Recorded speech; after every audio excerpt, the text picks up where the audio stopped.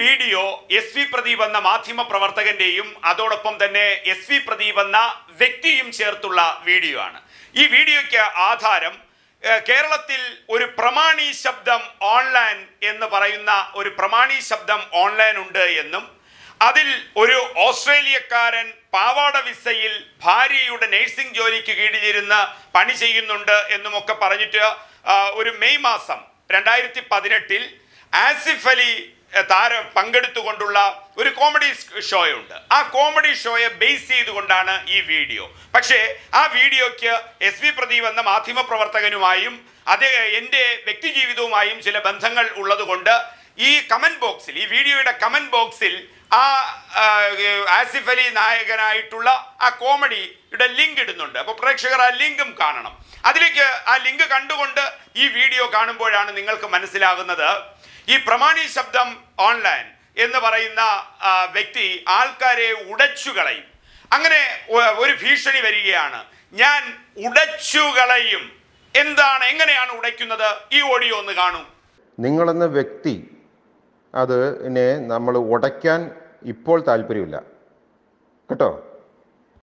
അപ്പോൾ ഈ ഓഡിയോ അനുസരിച്ചാണ് ഉടയ്ക്കൽ നടക്കുന്നത്. ഇതിന് പിന്നാലെ പറയുന്നത് ഈ പ്ര- പ്രമാണി ശബ്ദം ഓൺലൈന്റെ ഒരു വീഡിയോ പ്ലാറ്റ്ഫോമിൽ ജോലി ചെയ്യുമ്പോൾ അവിടെ ഏതൊക്കെ തരത്തിലാണ് കാര്യങ്ങൾ എന്നുള്ളതാണ്. ആ പ്രേക്ഷകരുടെ അറിവിലേക്ക് വേണ്ടി പറയാം. ഈ പ്രമാണി ശബ്ദം എന്ന് പറയുന്നത് ഈ ഇതിൽ സാങ്കേതികമായി ഇതിലെ കഥാപാത്രങ്ങളൊക്കെ ആപേക്ഷികമാണ്. ആ ജീവിച്ചിരിക്കുന്നവനോ മരിച്ചുപോയവനോ ഏവനെങ്കിലുമായിട്ട് എന്തെങ്കിലും ബന്ധം ആരെങ്കിലും തോന്നുകയാണെങ്കിൽ അത് വെറും യാദൃച്ഛികമാണെന്നും ഓർമ്മപ്പെടുത്തട്ടെ. ഈ പ്രമാണി ശബ്ദത്തിന് പ്രമാണി ശബ്ദം ഓൺലൈന് ഒരു വീഡിയോ പ്ലാറ്റ്ഫോം ഉണ്ട് എന്നും അവിടെ എസ് വി പ്രദീപ് എന്ന് പറയുന്ന ഒരു മാധ്യമ പ്രവർത്തകൻ ആ ഇതുമായി അസോസിയേറ്റ് ചെയ്തിട്ടുണ്ടെങ്കിൽ ആ അസോസിയേറ്റ് ചെയ്ത തസ്തിക founder editor I P T V consultant എന്നുള്ള രീതിയിലാണ് എന്ന് ഞാൻ പറയുകയാണ്. ഇതിൽ ആർക്കെങ്കിലും അഭിപ്രായ വ്യത്യാസമുണ്ടെങ്കിൽ ഇത് ഞാൻ പരസ്യമായി എന്റെ പ്രേക്ഷകരോട് പറയുകയാണ്.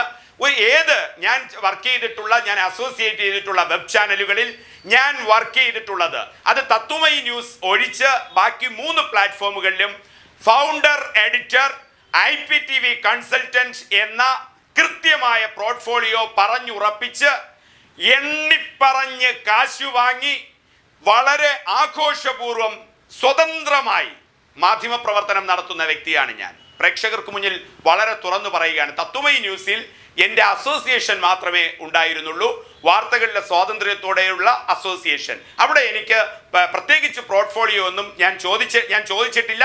മൂന്ന് മാസത്തെ ഒരു കരാർ എന്നുള്ള രീതിയിലാണ് അവിടെ പങ്കെടുത്തത്. ബാക്കി എല്ലായിടത്തും മൂന്ന് മാസത്തെ കരാറിൽ പങ്കെടുക്കുമ്പോൾ മറ്റു മൂന്ന് പ്ലാറ്റ്ഫോമുകളിലും പങ്കെടുക്കുമ്പോൾ എന്റെ തസ്തിക I P T V consultant plus founder editor ഇതിലാണ് പൈസ എണ്ണി എണ്ണി മണിക്കൂർ കണക്ക് രൂപ പ്രതിഫലം വാങ്ങിക്കൊണ്ട് തന്നെയാണ് ഈ പ്ലാറ്റ്ഫോമുകളുടെ ബ്രാൻഡ് ഞാൻ എസ്റ്റാബ്ലിഷ് ചെയ്ത്. അത് ആ- ബ്രാൻഡ് എസ്റ്റാബ്ലിഷ്മെന്റിൽ മോഹിച്ച് അതിനെ ഞാൻ വിലയ്ക്ക് കൊടുക്കുന്നു എന്നുള്ള തലത്തിലേക്കാണ് കൈമാറിയിട്ടുള്ളത്. ഇപ്പോൾ ഞാൻ എവിടെ വർക്ക് ചെയ്യുന്നു? ഇപ്പോൾ ഞാൻ ഹെറാൾഡിലാണ് ഞാൻ അസോസിയേറ്റ് ചെയ്യുന്നത്. ഇവിടെയും ഞാൻ founder editor I P T V consultant എന്നുള്ള രീതിയിലാണ് ജനുവരി ഒന്ന് മുതൽ ഏപ്രിൽ മുപ്പത് വരെ പങ്കെടുത്തത്. ഇപ്പോൾ ഓഗസ്റ്റ് ഒന്ന് മുതൽ ഞാൻ ഇതിന്റെ അകത്ത് അസോസിയേറ്റ് ചെയ്യുന്നുണ്ട്. തീർത്തും സ്വതന്ത്രമായി എന്റെ വാർത്തകളിൽ മേലുള്ള സ്വതന്ത്രമായ ഇടപെടൽ മാത്രം. ഇതാണ് വർക്കിന്റെ പ്ലാറ്റ്ഫോം ഇപ്പോൾ എന്നെ സംബന്ധിച്ച് സോഷ്യൽ മീഡിയയിലൊക്കെ ചില വാർത്തകൾ പ്രചരിക്കുന്നുണ്ടെന്ന് പറഞ്ഞ് എന്റെ സുഹൃത്തുക്കൾ എന്നോട് ബന്ധപ്പെടുമ്പോൾ എന്റെ പ്രേക്ഷകർ അറിയാൻ വേണ്ടി അറിയാൻ വേണ്ടി കൊടുക്കേണ്ടത് ഇത്രമാത്രമാണ് പറയുന്നത്. ഞാൻ ഒരിക്കലും വ്യക്തിപരമായോ തൊഴിൽപരമായോ ഒരു മഹാത്മാഗാന്ധി ടൈപ്പ് അല്ല. എന്നോട് ഇടപെടുന്ന തരത്തിൽ ഞാൻ തിരിച്ച് ഇടപെടും. എന്നോട് സഭ്യമായിട്ടാണെങ്കിൽ ഞാൻ അതേപോലെ. എന്നോട് ആഭാസം കാണിക്കാൻ വന്നാൽ ഞാൻ അതിനേക്കാൾ ആഭാസം കാണിക്കും. എന്നെ എന്റെ ദേഹത്തേക്ക് വിരൽ ചൂണ്ടിയാൽ ഞാൻ തിരിച്ചും വിരൽ ചൂണ്ടും. എന്റെ ശരീരത്തിലേക്ക് തൊട്ടാൽ അവന്റെ നാഭി തൊഴിച്ച് അടിച്ച് അവനെ ഞാൻ തറയിലിടും. ഇരുട്ടടിക്കേണ്ടി വന്നാൽ ഇരുട്ടടിക്കും. അതാണ് എസ് വി പ്രദീപ് എന്ന മാധ്യമ പ്രവർത്തകന്റെ വ്യക്തിപരവും തൊഴിൽപരവുമായ നിലപാട്. മഹാത്മാഗാന്ധി ടൈപ്പ് മന്ത്രങ്ങളും സൂക്തങ്ങളും ഉച്ചരിച്ചിരിക്കുന്ന വ്യക്തിയും മാധ്യമ പ്രവർത്തകനുമല്ല. മഹാഭാരത കഥകൾ വായിച്ചതുപോലെ രാമായണ കഥകൾ വായിച്ചു പഠിച്ചതുപോലെ ഭാഗവത സൂക്തം വായിച്ചു പഠിച്ചതുപോലെ പൂരപ്പാട്ടും ഞാൻ വായിച്ചു പഠിച്ചിട്ടുണ്ട്. മഹാഭാരത സൂക്തങ്ങൾ കൊടുക്കേണ്ടവന് മഹാഭാരത സൂക്തം.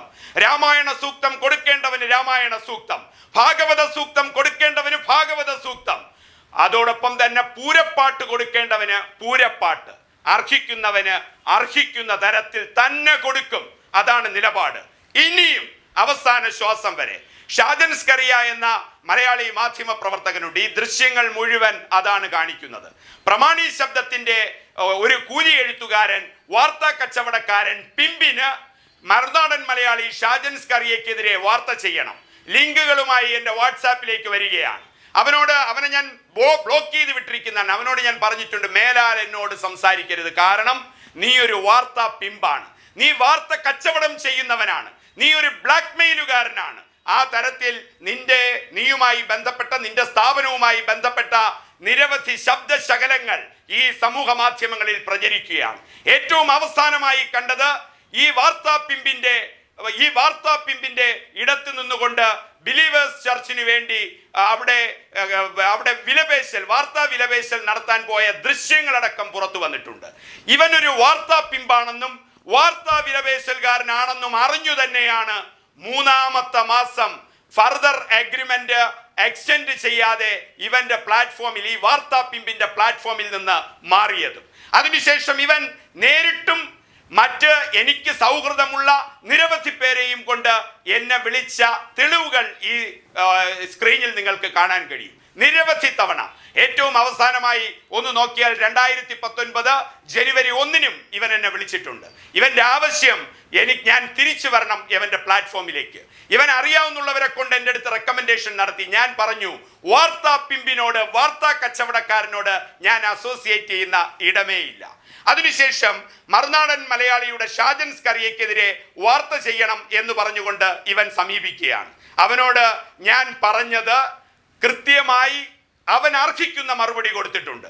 അവൻ എന്നെ ഉടയ്ക്കാൻ ഇറങ്ങുമ്പോൾ അവന്റെ ഉടയ്ക്കൽ കണ്ട് വി പ്രദീപ് എന്ന മാധ്യമ പ്രവർത്തകൻ ഭയന്ന് വിറച്ച് ഞെട്ടി മൂലക്കൊളിച്ചിരിക്കുകയാണ്. എനിക്ക് നാടുവിടണം. ഈ ഉടയ്ക്കൽകാരൻ വാർത്താപ്പിമ്പിന്റെ കയ്യിൽ നിന്നും രക്ഷപ്പെടാൻ. പക്ഷേ എനിക്ക് പാവാട വിസയില്ല. എന്റെ ഭാര്യ ഓസ്ട്രേലിയയിലെ നേഴ്സല്ല. എനിക്ക് പാവാട വിസ ഇല്ലാത്തതിനാലും ഓസ്ട്രേലിയയിലെ നേഴ്സല്ല എന്റെ ഭാര്യ അല്ലാത്തതിനാലും അതോടൊപ്പം ഓസ്ട്രേലിയൻ സൂപ്പർ മാർക്കറ്റിൽ സെയിൽസ് ആൻഡ് സെക്യൂരിറ്റി ആകാൻ എനിക്ക് താല്പര്യമില്ലാത്തവനായാലും ഞാൻ ഇങ്ങനെ വിറച്ച് ഇന്ത്യയിലൂടെ ഓടി നടക്കുകയാണ്. ഇവന്റെ ഉടയ്ക്കൽ വിരട്ടലിൽ.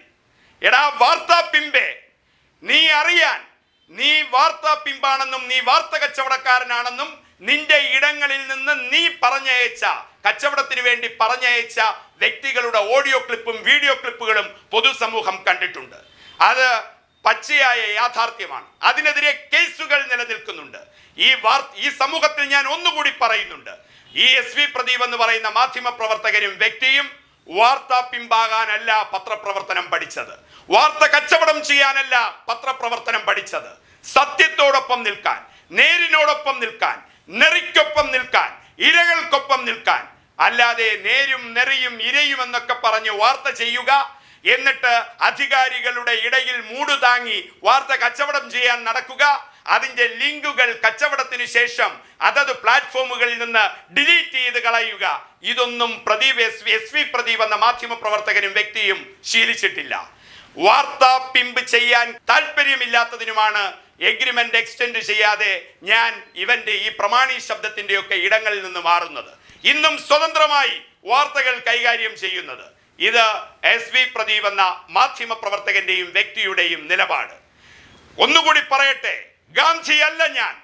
രാമായണം ഹൃദയത്തിൽ സൂക്തങ്ങൾ പഠിച്ചിട്ടുള്ളവൻ.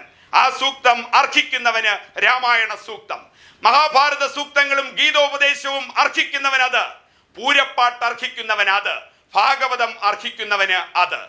അടിച്ചാൽ അടിക്കും. ഇരുട്ടടി അടിക്കേണ്ടി വന്നാൽ ഇരുട്ടടി അടിക്കും. ഏത് പാവാട വിസക്കാരനായാലും ഏത് ഓസ്ട്രേലിയൻ വാർത്താ പിമ്പായാലും. ഓർത്തുകൊള്ളുക.